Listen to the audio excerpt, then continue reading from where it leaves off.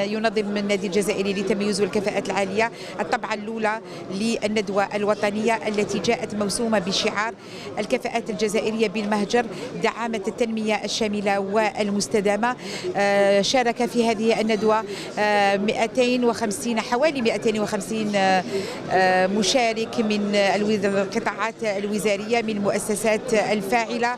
أيضا طلبة باحثين أكاديميين.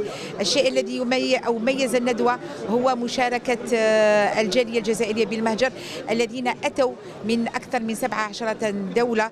هم نخبة جزائرية رفيعة المستوى الذين أبدوا استعدادهم للمشاركة في بناء المسار التنموي للوطن في جميع المجالات لا سيما في مجال البحث العلمي والتكنولوجي. آه، محاور ثلاثة رئيسية ستكون آه، ستتخلل أشغال هذه الندوة لنهار اليوم. هي المحور الرئيسي هي الرقمنة وذكاء الاصطناعي الأمن الغذائي البيئي والطاقوي وكذلك آه، الصحي. آه، هذه الكفاءات جاءت لتلبي نداء الوطن آه، قبل نداء النادي.